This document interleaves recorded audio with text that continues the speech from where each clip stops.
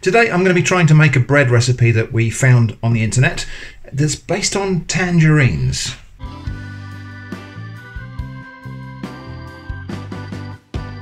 So this video is a collaboration with my friend Babatunde in Nigeria. He found a video on Facebook which looks like it's a repost of a TikTok video by 132 Kitchen of a type of bread made with tangerines instead of water, I suppose. I'm going to try and make something like that today based on that recipe, but I am going to change it around a little bit. So the original video, which I've kind of sketched down here, used two large tangerines and then mixed in eggs, sugar, salt, yeast and butter and blended them. And now I'm going to change things around a little bit here. Firstly, I'm going to use the whole tangerine in there. I'm not going to peel them because I'm going to try and get some flavour out of the zest of the tangerine here. By the way, these are clementines. I'm not going to put the other ingredients in here until we've strained it because I think we just lose some of those eh, sugar and egg and whatever in the straining process. So, and I'm also using three because these are a bit smaller than the ones looked in the video. We'll start by blending that up to a kind of smooth pulp. Do you know what? I think I'm going to put my fourth tangerine in. I just don't think that's actually very much liquid at all in there. So we're going to go for four clementines. Right, I think that's about as close as we're going to get to blended. So we'll take the sharp bit out. We'll try to strain that. Maybe in two batches. I just don't see the point of adding the eggs in there. I suppose they would, the liquid in the egg might carry some of the orange flavour through, but it seems like we're just going to lose a lot of it in the pulp. So I'll just press that through the sieve. Does smell very, very tangerine And what we've kind of made here is a very crude form of comminuted tangerines. Comminuted citrus is what they use for making orange squash in the UK. It's kind of like the entire fruit blended down to the point you get flavour out of the skin as well.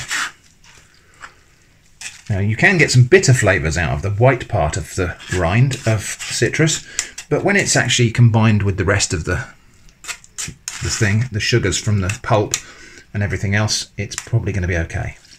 I think that's about as much as we're going to get out of there. I will just reserve that for now because I have an idea we might need it for something else. In case the idea of putting the whole orange or tangerine in here seems really weird and horrible, if you think about orange marmalade, that's made from the whole fruit, including even the seeds. And so it's not, it's not exactly as if there's no precedent for this. Okay, well that's my tangerine liquid and it looks great and smells fantastic. I am just going to add about half a cup of water to this, in fact probably about a quarter of a cup of water to this pulp. Give it a little mash with a fork just to bring it back together, just to get some more flavour out of this tangerine skin, just to get the zest completely out. So let's just have a look and see. Yeah, there is some colour to the juice there, so another round of straining. Let's just have a look at what's coming out. Yes, it is orange in colour, so presumably also in flavour. This is quite a deviation from the original recipe that I'm basing this on. So uh, I'm kind of already off into the terra incognita here. Right, I think that's as far as we need to go. So that's my tangerine extract. So that turns out to be about 200 mil of tangerine extract. I need to add my eggs to that. And I think that's going to make it up to about 300 mil. So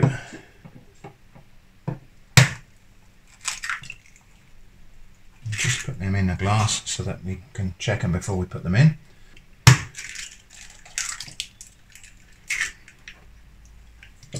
Okay, and that takes me up to actually about 300 mil. Just going to beat those eggs in there. Now for the purposes of this recipe, I'm going to assume that 300 mil is 300 grams, and I'm going to use a ratio. So I'm going to use 500 grams of flour. And to make mixing easier, I'm going to take out one whole cup of flour. I'll put that back in nearer the end. The original recipe I'm basing this on calls for one cupful of sugar. I'm going to dial that back to about two thirds of a cup just because I think that's a lot of sugar. And it also calls for 28 grams of yeast, which is a heck of a lot of yeast. So I'm just going to use an 8 gram sachet here of instant of instant dried yeast. It may be that they were using uh, dried active yeast rather than instant yeast. This one sachet of yeast should be plenty for this mix. Just mix those dry ingredients together.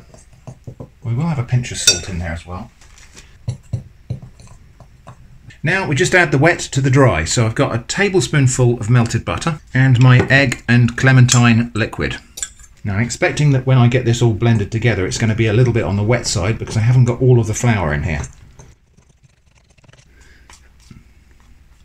And just reserving that flour like that just allows us to get a fairly even mix before we start making this into a dough. At the moment it's more like a stiff batter. But now I can add in small amounts of this flour and work it until it comes back to a dough. And actually it might be that I won't add all of this. I might stop short if I feel I've got to the point where we've got a soft, pliable but non-sticky dough. I might stop right there. It's a little bit awkward working with the camera in my face here. Right, going to stop there, turn this out on a board, and we'll do the rest of the working in of flour on the board. So on a floured board, I'm just going to work this dough. It's very, very soft at the moment. So actually what I'm doing here is some of the kneading at the same time as mixing in the remainder of that flour. And as I say, we might not get all of that flour in there. It is a 5 to 3 ratio, which should work, but a lot of it's dependent on the absorbency of the flour and other factors because we've got sugar in there as well, which is another factor. And so it's kind of a bit done by feel here. I think that might actually be enough. I'm just going to, yeah, it's still a bit sticky, so we'll just carry on going. It's a lovely colour, lovely kind of golden egg yolk, orange, yellow. Okay, I think that'll do. We'll make that into a ball so my mixing bowl, which I haven't bothered to clean, I've just added a little bit of oil in the bottom and wiped it round so this won't stick too bad. In there, and we'll cover that up and allow that to double in size. I have a little bit of flour left, maybe about a tablespoon from my ratio. So I didn't use all of the flour, but I expect I probably will need to add that and maybe a little bit more when we've proved this once. Okay, that's been proving for an hour and it has doubled in size. Let's have a quick look. Easily doubled in size. While that was proving, I zested one orange. Just use a little zester tool. You can use a grater. And then the juice of the orange, I've poured over about half a cup of dried cranberries just to soak them. So those have been in there soaking for about an hour. So what I'm going to do with those cranberries now is drain them. And I might as well just drain them into there because I want that juice and zest to be together later on. And then I think we'll just use the remaining flour to work this dough. I might need a little bit more flour. We'll see how it comes out. Yeah, more or less in one piece. Quite a shaggy dough. And I'm not surprised because the flour will have hydrated, the gluten's relaxed, all those kind of things while this has been proving. And I'm just going to see how loose this is. It's quite, yeah, quite a floppy, a little bit sticky dough. But we've got this flour here to work into it and to keep it from sticking to my hands while I'm just kneading it. Lovely, lovely soft dough. I did just use plain flour. You could use bread flour for this, but I just used plain flour. That's the equivalent of all-purpose flour, as it's called in the United States, I believe. That's actually quite a nice, pliable, soft dough. It does smell of clementines. So just a little extra flour, because I'm going to roll this out. The recipe I'm following had this divided up into eight pieces and baked in a Bundt pan. I'm going to do something slightly different. I'm going to make it into a kind of a rectangle and then I'm just going to roll it out. I'm just going to roll it out into roughly a kind of long oblong shape. A little bit more flour just to stop that from sticking. Okay, and just roll and then let it relax and then roll again. Not going to try to work it hard or anything like that here. So big kind of oblong shape Now leaving a little margin along this edge, I'm just going to put my cranberries on there and then distribute them. Might just press those in a little bit so they stay where they are. Also, I have about half a jar of thick cut marmalade. This is really thick orange marmalade with great big chunks of peel in it, but that will work okay. And I'm just going to break that up and kind of drop chunks of it all over here.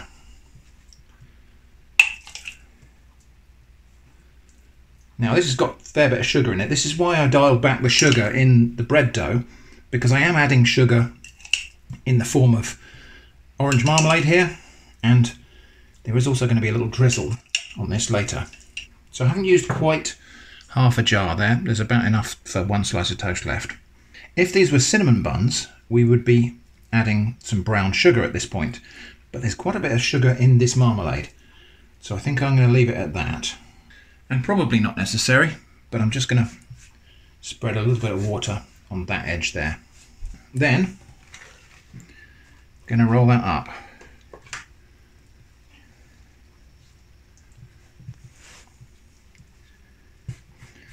Kind of even out the thickness. So carefully, without hacking through my silicone mat, I'm going to cut this into,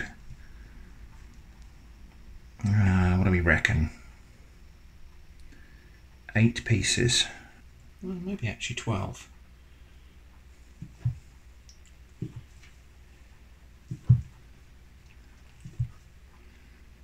Worrying too much about bits falling out of it at the moment. That will resolve itself. Okay, 12 pieces. And then on a baking tray, which I'm going to generously oil, this could be tricky. I'm going to arrange these in a couple of rows. And yes, it's not a perfect grid. And no, it doesn't matter. Okay, and just now get a chance to actually space them out a little bit because as they rise, they will fill in all those gaps. Right, that's a mess, but that now needs to go in a warm place to prove for probably another 20 to 30 minutes. About 20 minutes or so in a warm place covered with cling film, and these have definitely doubled again. So they now occupy the entire tray. So those now need to go into the oven at gas mark 5, which I'll put a conversion for on the screen, for 35 to 40 minutes. All right, a little bit sooner than I thought. They are definitely done. Perhaps just a tad over. So that's 30 minutes. And yeah, they've got a really brown crust. Just save that, maybe. Right, that needs to cool for a bit before I can try and glaze them. To make the glaze, icing sugar. Now, I've got a feeling this is going to be a bit clumpy because this is not the driest kitchen. Grief, it's rock hard. Let's see if we can get that back into a fine powder. I think that worked. Normally we'd hydrate this sugar with water, but I've got this orange juice that's been sitting here, steeping with the orange zest. I'm going to strain out the zest. I suppose I could have left it in there. Hopefully the flavour has infused. You know, we could have little bits of zest in this icing, but I don't think we really need it. And then, yeah, I've got way too much juice in there. So I'm to add some more sugar. I'm just going to keep on going until we get to the point where it's a kind of pourable consistency. Not quite there yet. My sugar could have done with being finer than this. The lumps are a problem, but actually not a real big problem. It's lumpy, but it's lumps of sugar, so, you know, it's not that bad. Yeah, that's about the kind of consistency we're looking for. Over we go. So, just going to tease them apart a little bit. They're lovely and tender. Yeah, the um, the spiraling's a little bit of a disaster, but not excessively. Right. So, okay. Right. Well, there's the buns. But I'm just going to let that cool a little bit because you can see it's steaming. If I try and put the glaze on now, it will just dissolve. Right, in case you're wondering why this looks weird, we are under artificial lighting now. But anyway, these have cooled down sufficiently because I feel it's safe to get the glaze on.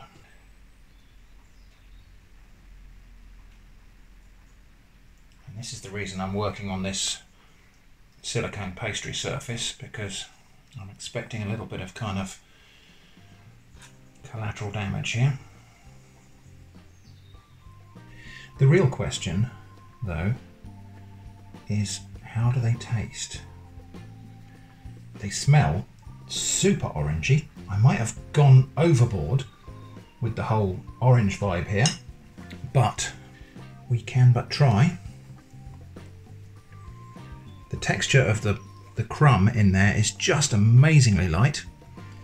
I'm going to eat one of these standing up here in the kitchen while they're still lovely and soft and warm. Here we go. That's really, really good. That is really, really tasty. Not everything's perfect here, so let's just have a look at what went well and what went perhaps not so well. So, not so well, my glaze is a bit lumpy because my sugar was clumpy. That's just unavoidable. I think I baked them just a little bit too long. I think I could have rolled them more carefully. There's not really very much trace of spiral bun here, but they're still nice and they've still all got a bit of filling in them. I was right, I think, to use the whole clementines in here. It has given them a really, really zesty, marmaladey flavour, and I like that. So if you don't like that really slightly bitter, zesty, orange clementine flavour, then maybe peel your clementines before you put them in. And maybe don't infuse the zest in the glaze. I was also right, I think, to dial back the sugar and the yeast. I think if we'd put 28 grams of yeast in there, they would have just blown up into a, a foam, and especially if they were fed with a full cup of sugar. There's room for improvement here, but what I've actually got is some really, really tasty sticky buns. Anyway, I hope that's been interesting, and I hope you'll check out Babatunde's video to make something like that bread. I think he's going to face a lot more challenges than I did because of the limitations of ingredients and equipment that are available to him. Please do check out his video, it's linked in this card and in the video description, and I hope you'll give him your encouraging support. I might revisit this recipe to try and correct some of those errors, but I think the recipe itself is a winner. I hope it's been interesting, thanks for watching, and I hope to see you again soon.